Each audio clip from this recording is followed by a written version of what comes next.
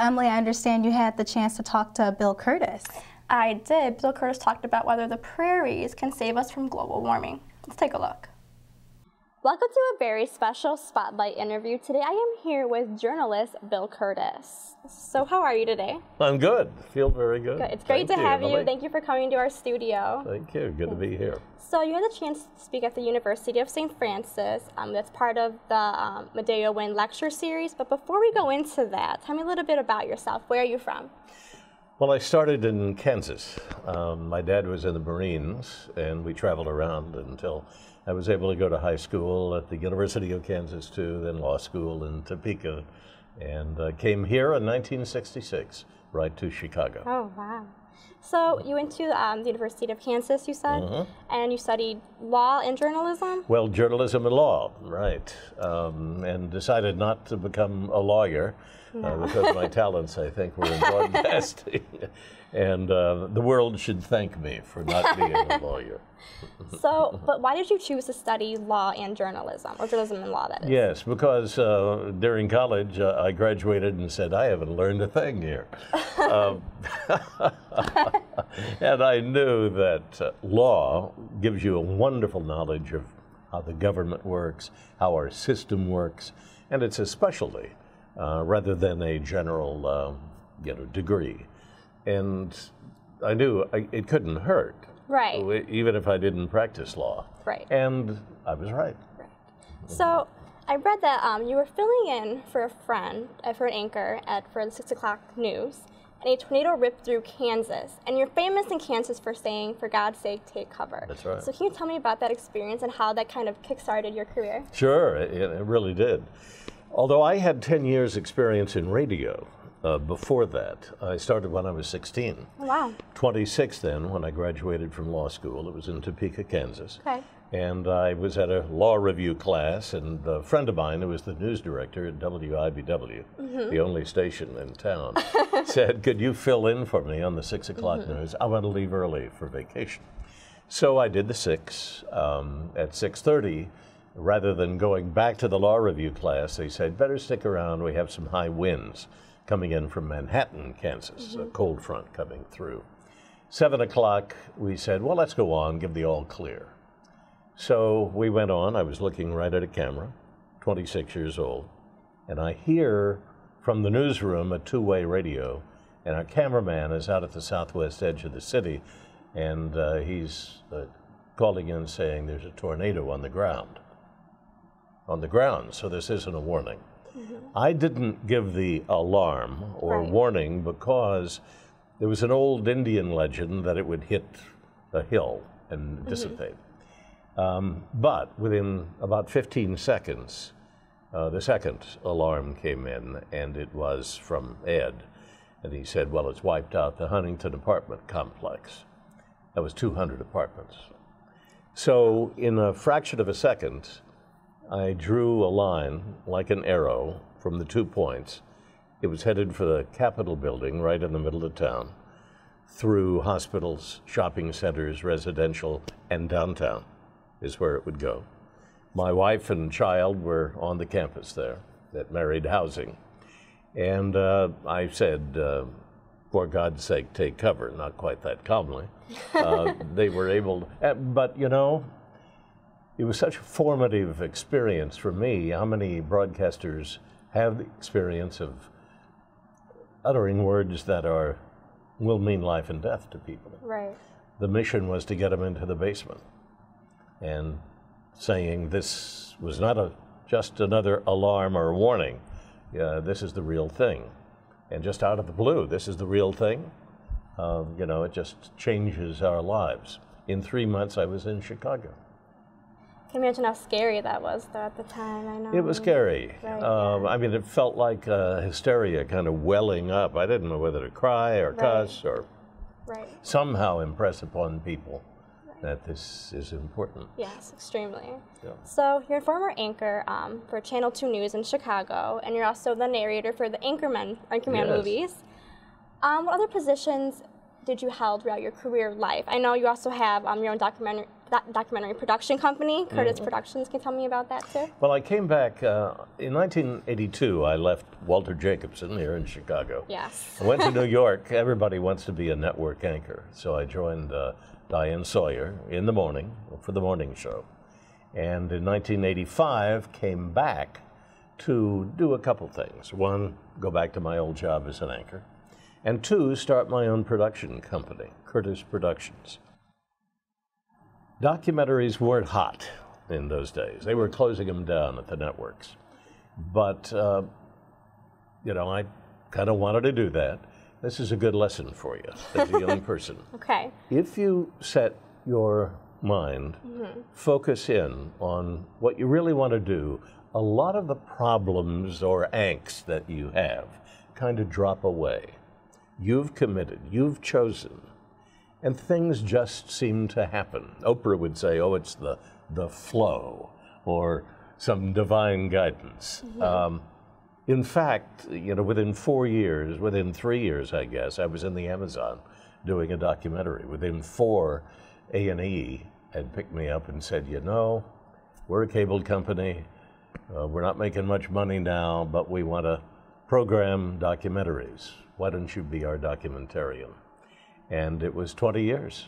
I did 100 shows called Investigative Reports, 127 called Cold Case Files, Right, American uh-huh. Justice, and uh, it became a documentary company. Right. So I enjoyed the entrepreneur role, the business role, and I had to morph out of you know anchoring in journalism Right, into another course. kind of journalism. Right.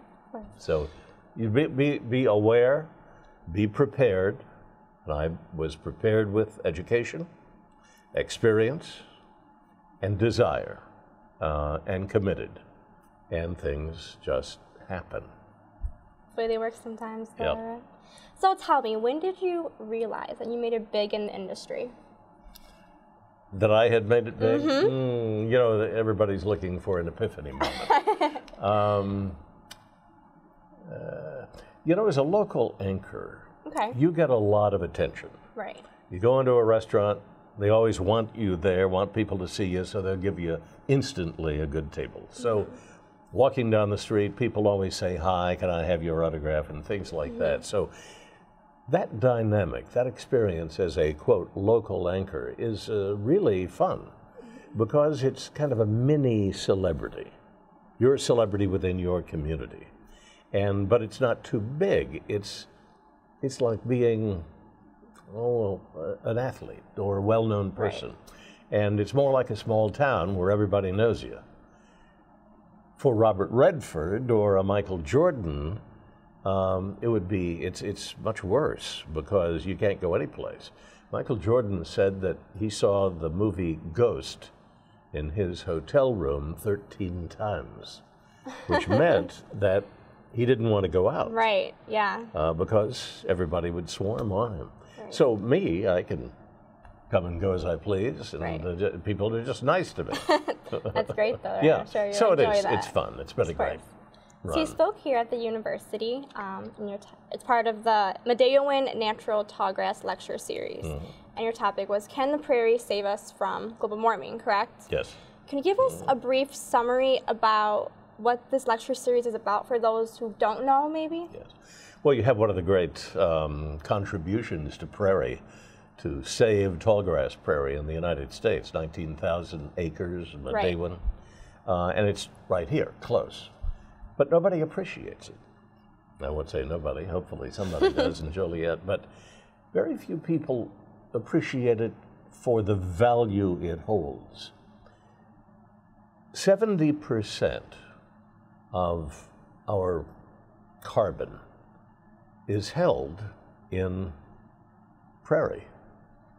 You know, by and, prairie from original native grasses that have roots that go deep 10 feet, 15 feet, holding all the organics down there.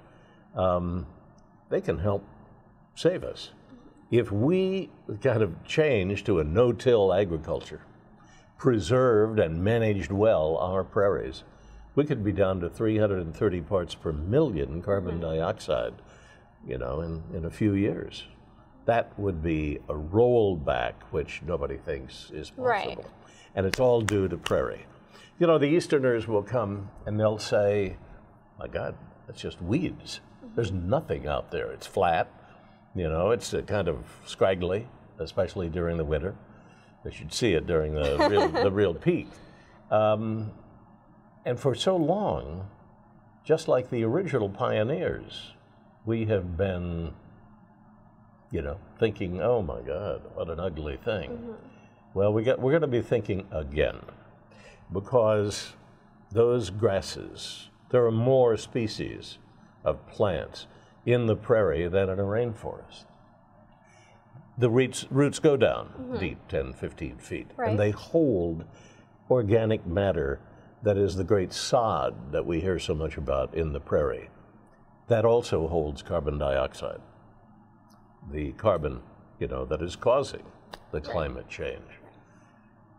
We've already dug up a million uh, acres and planted corn. Corn is not as good as native prairie.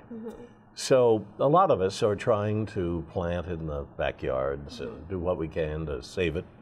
We can bring it back, but not with really high corn prices. Everybody wants to dig up the front lawn. um, and that's why we have to educate. We have to spread the word of the value. Right. So, personally, why was it important for you to speak here at the University of St. Francis about this topic? I was invited for one. Uh, As a matter of fact, I was going to go to the prairie, you know, the park, and uh, but I think our audience was going to be expected to be too large. And also, I have an audiovisual uh, presentation. I will show you some pretty slides. Awesome, that's great. Mm-hmm. So, what personal connection do you have to this topic? I own 65 acres in a little town called Mettawa, which is between Lake Forest and Vernon Hills. Uh, most of it is in conservation easement. Uh, now, that's a commitment because it says for perpetuity, I give away the right Right. to uh, develop it. So, on that, I have brought back, I've restored about 20 acres of tallgrass prairie. I have an oak hickory forest. I have removed all the invasive species that I could identify, certainly something like buckthorn. Um, and we give tours. We have a big garden. And Nice. so I'm um, a lover of prairie, and I really feel committed to the people who also have committed to same the same goal. And Let's why? save it. And why should people want to restore these prairies? Well, because of the value um, for global warming now. Uh, in addition, why there is a great deal of uh, medicinal research that is being um, conducted now on plants. We don't know anything Right. about the prairie and the plants. The Indians used every single plant uh, for some medicinal use. Rattlesnake master, you know, as uh, antidote for a rattlesnake bite. Um, certainly echinacea, that's a coneflower. right. Uh, you could just go right down the line. Uh, we need to get in there and find, we may find the cure for cancer right there. Oh, that'd be great. Yeah. Sure, yeah. So, what are some other effects to help restore these prairie? Well, you um, first of all, we clear the invasive species. Okay. I when I took over my first ten acres, I cleared actually native hawthorn out uh, because they had invaded uh, this prairie plot, and then you, I burn. I have burned, but tonight I will show you a um, a clip that maybe burning isn't the answer. That we should let worms take over Okay. because they eat the trampled grasses and uh, turn them into soil. They are the ones who create topsoil. So it may be better for the land than burning, but that's still up. We still must uh, study it, Right. research. And you're going to show part of that in your lecture. About. Great. So, what benefits can prairies provide in easing the effects of global warming? Well, it's soaking up the carbon from the atmosphere. Uh, you, they just bring it in and give out oxygen. And that is better than a rainforest, better than, maybe not better than the ocean, because the ocean also But uh, the grasslands, we have about 7 billion acres of grasslands around the world.